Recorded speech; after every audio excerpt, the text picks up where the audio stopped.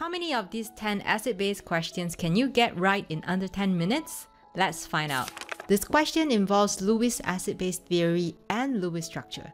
To answer this question, we need to know that Lewis base is a substance that donates electron pair. And that means the Lewis base will need to have at least one lone pair present to be donated. Looks like BF3 is the only Lewis structure without a lone pair on its central atom, making E the correct answer. This next question involves Bronsted-Lowry acid and base theory. This is the equation that is given. Before we start answering the questions, let's figure out what's the role for each of these components in the equation. H2O has to donate a proton in order to become OH-. And because H2O donated a proton, that makes H2O an acid, and therefore OH- to be the conjugate base. And when F minus becomes HF, it actually accepted a proton. And when something accepted a proton, it's a Bronsted-Lowry base, making HF the conjugate acid. And therefore, based on the options that's given, C is the most accurate statement whereby HF is the conjugate acid of F minus. This next question involves pH calculation. These are the six equations that are handy However, we don't need all six of them, we only need one of them, which is pH is equals to negative log of H plus. And the reason we know that we need that equation is because the question is asking for pH and it's giving us the concentration of H plus, which in this case is 16 molar. So we plug that into the formula and that gives us negative 1.2. If you have no access to the calculator, here's a log hack. Log of 10 to the power of 2 is 2, log of 10 to the power of 1 is 1, and log 10 to the power of 0, which is log of 1, is 0. So therefore, if we have log of 16, it's between 10 to the power of 1 and 10 to the power of 2. It's between 10 and 100. So therefore, the answer that we expect would be between 1 and 2. And because there's a negative sign in front of it, and therefore the estimate is between negative 2 and negative 1. This next question involves pOH calculation. These are the six equations again, and the question asks us to find pOH. However, we're started off with concentration of hydronium ion H3O+, which essentially is the same as H+. And therefore, we're going to start off with this first equation where we're going to use the concentration that's given to calculate the pH log of 10 to the power of negative 11 is negative 11 and that gives us pH of 11. Once we found the pH, we can use a second equation to figure out the pOH. So pOH is just going to be the difference between 14 and 11 and that gives us 3.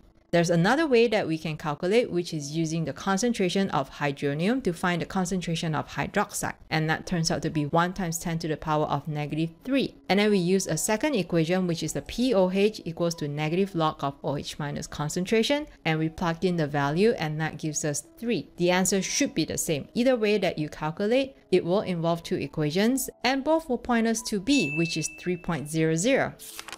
This question tests on the Ka expression. Ionization of nitrous acid gives H plus and NO2 minus. The Ka expression can be written as such. Now initially we have 0.01 molar of nitrous acid and 0 molar of the ions. And when this weak acid, which is nitrous acid, starts to ionize, it's not going to be 100%, so we're just going to call it X. And that means it's going to form X molar of the ions as well. After some time, the acid-base reaction will reach an equilibrium. that means we just add both the initial and change terms together and we get 0.01 minus x for HNO2 and x for both conjugate acid and conjugate base. Now that we have the concentrations for each term in Ka, we can go ahead and plug them in. And from the question, we're given 4.5 times 10 to the negative 4 for Ka. So we plug that in as well. Now, since Ka value is so small, we can just ignore this minus x term because it's gonna be negligible when we multiply this term across. We're gonna ignore this in our calculation and that's gonna simplify our calculation a lot. Let's rewrite what we have and now we can go ahead and solve for x squared. To do that, we multiply both sides with 0.01 term and that way we'll end up with only x squared term. And to solve for x, we're going to take a square root, and that's going to give us 2 times 10 to the negative 3, which is B as the correct answer. This is a titration question with the titration curve given between HCl and CH3NH2 which accepts one proton from HCl and that makes the ratio between them 1 to 1.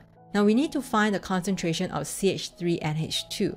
From the concentration curve, we can find the equivalence point, which means the mole of HCl is the same as the mole of CH3NH2. At that point, 15 ml of 1 molar of HCl was used. Using the molarity equation, we can find the mole of HCl. Since the equation involves liter of solution, don't forget to convert 15 ml into liter, which gives us 0.015 liter. Plug that into the equation and that gives us 0.015 mole for HCl.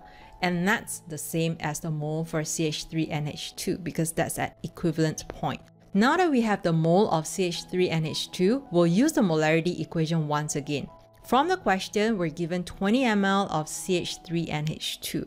Convert 20 ml into liter, plug that into the molarity equation, and that gives us 0.75 molar, and that's the molarity of CH3NH2, making C the correct answer. This is the same titration curve, showing the titration between HCl and the weak base CH3NH2. At equivalence point, after adding 15 ml of HCl, the mole of acid is exactly the same as the mole of the base. And at half equivalence point, which is 7.5 ml, that's where exactly half of the base has reacted with HCl. And what that means is that we have an equal amount of conjugate acid, which is CH3NH3 plus, and base, which is CH3NH2. Now, that means if we look at this Henderson-Hasselbalch equation, this quotient will then become 1. That translates to pKb of CH3NH2 is equals to pOH of the solution because this whole log term is going to be equal 0 because log of 1 is 0. Now the pH at half equivalence point is 10.5. And if we want to find a pOH, all we have to do is just subtract 10.5 from 14, and that gives us 3.5 as the correct answer. Using the same titration curve again, we now need to identify the buffer region. That's the region where there's very little change in the pH of the solution when HCl is added. This region fits that description, and that makes C the correct answer. This question focuses on the understanding of buffer. Buffer is an aqueous solution that contains a weak acid and its conjugate base, or a weak base and its conjugate acid. Since the question is asking on acidic buffer, therefore we're focusing on weak acid and its conjugate base. Now the key word is weak acid. Judging from all the five options, HClO4 is the only strong acid while the rest are weak acids, and therefore it cannot be used as an acidic buffer.